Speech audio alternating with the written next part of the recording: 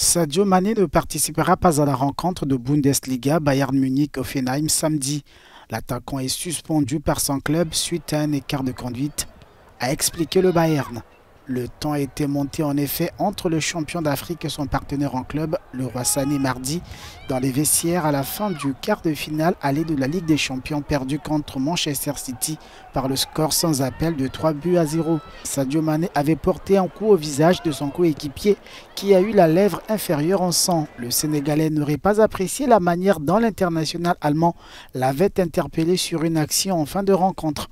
Le Sénégalais sera cependant convoqué pour le quart de finale retour mercredi face à Manchester City.